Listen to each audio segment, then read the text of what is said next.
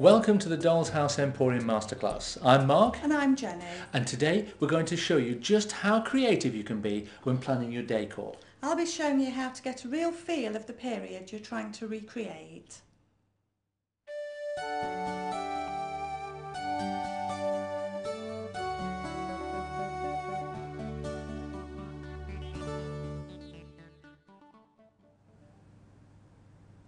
So Jenny, how do we get started? Well, there are lots of inspirations out there. Next time you visit a stately home, do pick up the guidebook. There's always lots of information about different historical periods in there. Is it okay, just to interrupt you, sorry, is it okay to then copy a room decor out of maybe a stately home into your own home then? Absolutely, that's what a lot of people like to do. Try to get it as accurate as possible with the furniture and the decoration. Of course, so you can go to the Doll's House Emporium catalogue and you can look at the period furniture that is applicable to the decoration That's you choose. That's right, create your own mini stately home. Fantastic. What next then?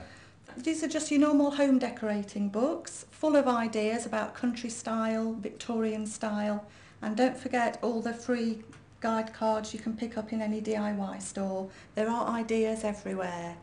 And when I've assembled all my ideas, when I've thought about my colour scheme and what the ideas I'd like to put into the room, I then go on to create a mood board, and I'll show you how to do that next.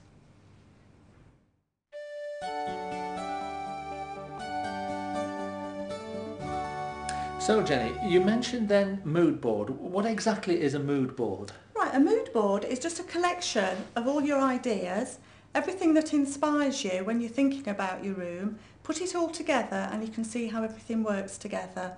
Here I've done a Victorian theme, so I've just chosen items from the Doll's House catalogue, but I've also cut ideas out of True magazines and decorating guides just to give a feel as well. I was well. going to say these look like catalogue shots and things like that, and, and out of magazines. Anything that I see in a magazine or a decorating guide or an advertisement, anything that catches my eye, makes me think of my room, I will put it on the board.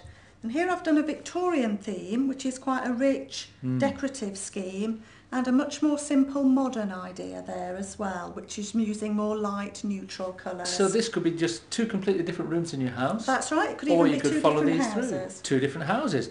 That is such an easy way to do it, isn't it? So simple. I never even thought of just put planning your whole room out as easy as this. Well, it's such a good way to get a feel of what it is you're looking for. Then you can get it set in your mind what it is you're aiming for, and it is a way to avoid expensive mistakes. of course, there's nothing worse if you start decorating room or going and buying all That's the bits right. and pieces and then find they don't work and together, then is there? thinking, I wish I'd done it that colour, or I wish I'd chosen that wallpaper. Right, Jenny. Well, I've been out and about and scouting around for little bits and pieces. If you have a look here, I have got some of my own collection together here. See what you think of this. I was trying to do a bedroom, so I found I found a little picture of a Yeah, chair. pink that I chair. a little pink chair there. I've also got some items that I bought out of the Doll's House catalogue. So I've got some flowers. I've got a couple of picture frames. I've got a nice little bit pieces here.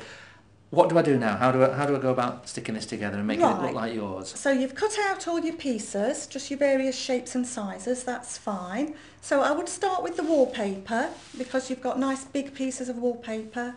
I would just glue Okay. those on. So we're going to start at the back and then work forward. That's right, so you start with the big piece at the back and then start Yeah, sticking bits because on top. when you're okay? in, looking into your room, the wallpaper is the thing you see most of, so it makes sense to have that largest on your paper. And I don't need to put much glue on, do I? Just, No, just a little just- bit, just to hold yeah. it all in place while I stick this down, and it won't drop off.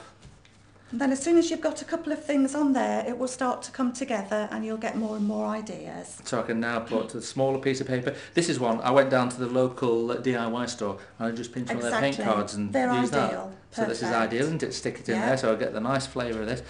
I'm going to get the hang of this. I, I quite enjoyed it. this. It's very creative, It isn't it? is. This is where you can really let your creative juices flow That's right. on your house now, and you'll it? keep seeing, as you get on with it, you'll keep seeing more and more things that you want to add to make that romantic bedroom perfect. And you could do this for any room. So you could do this for your kitchen, your bedroom, the living room, the kids' playroom. You can put the toys and all sorts of things Every together. room in the house, even the garden, can have its own mood board. That's fantastic. Well, we hope you enjoyed this very simple little masterclass. Here are some more inspirational rooms for you to enjoy.